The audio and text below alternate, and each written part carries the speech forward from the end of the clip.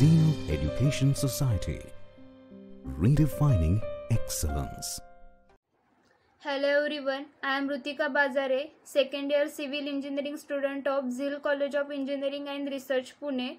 Today me and my fellow group members Rutuja Mehetre, Janvi Chavan, Abhinay Shilimkar and Subodh Nimbalkar are here to present our PBL activity first on the topic of study of principle of planning and its classification according to National Building Code.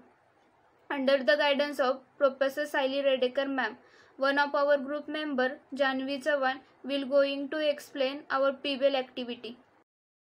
What is building planning? Building planning is the arrangement of various components or units of a building in a systematic manner so as to form a meaningful and homogeneous structure to meet its functional purpose.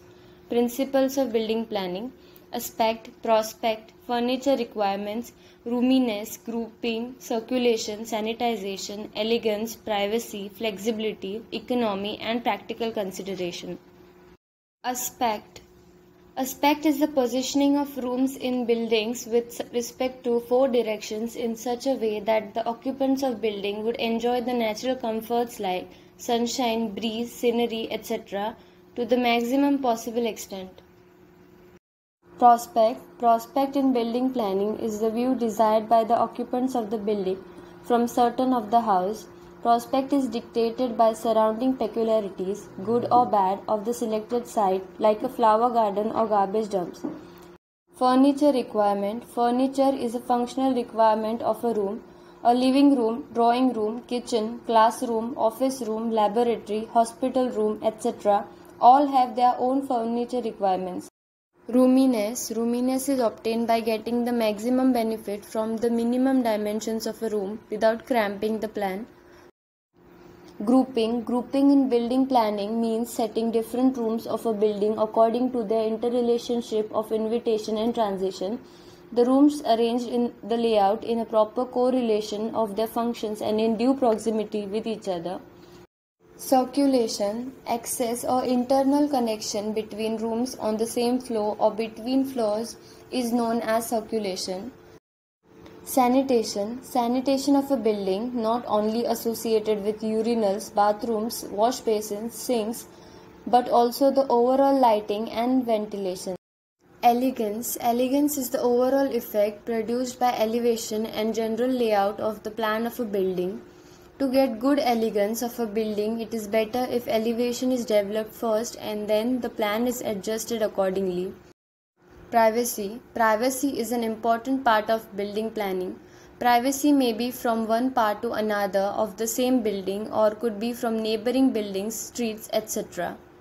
Flexibility Flexibility means planning the room in such a way that though originally designed for a specific purpose, may be used for other purposes also when desired.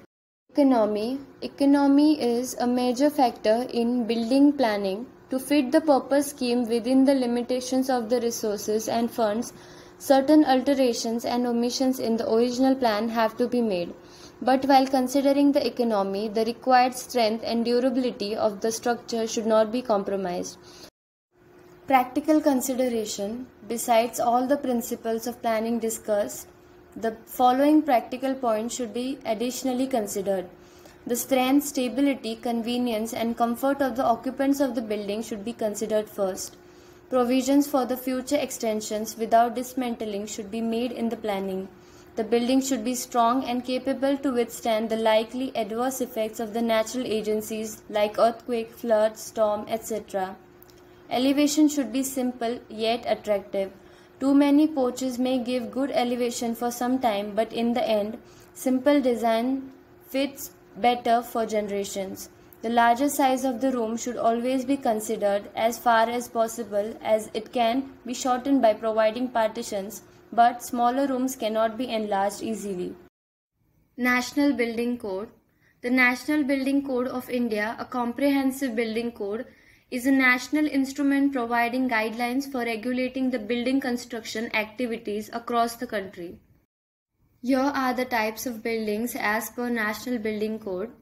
Group A Residential Building, Group B Educational Building, Group D Healthcare Facilities Building. Group C Institutional Building. Group E Business Building.